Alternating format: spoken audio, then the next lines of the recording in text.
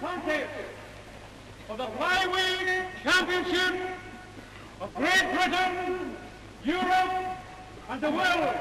The biggest crowd that has ever seen a boxing match in Scotland crams Glasgow's Shawfield Park to watch world champion Benny Lynch defend his title against southern champion Pat Palmer.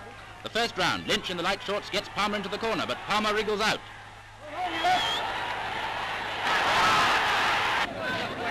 Palmer's straight lefts are giving Lynch a lot of trouble. The champion can't get close enough to use his left hook. The second round is mostly a series of clinches, but one ill-judged advance by Palmer gives Lynch an opening, and he scores with a blow that cuts Palmer over the left eye. In the third round, Palmer adopts a pronounced crouch. Ducking and countering, he takes the offensive and twice forces the champion onto the ropes.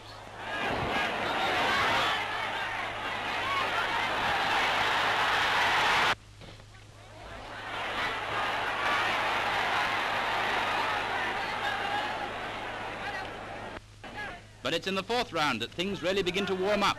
Lynch's amazing quickness of foot is beginning to prove a vital factor.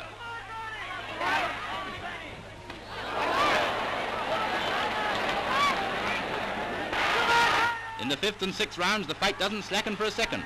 And this is where Lynch's superb power and speed begin to tell as he gets Palmer against the ropes.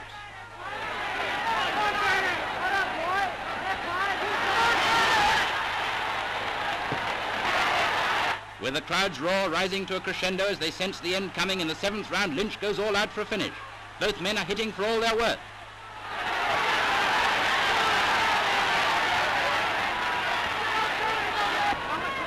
Palmer, bleeding from the nose, takes a terrific punishment.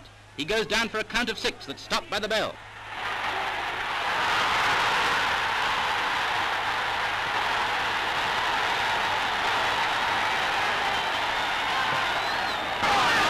Now comes the round that proves to be the last. Palmer still standing his ground, but his vitality has been sapped, and Lynch lands his rights and lefts with an almost sickening monotony. Watch the final punches that lead to Lynch's victory. Lynch brings out his left, follows it with a punch to the jaw, left to the solar plexus, and Palmer's down and out.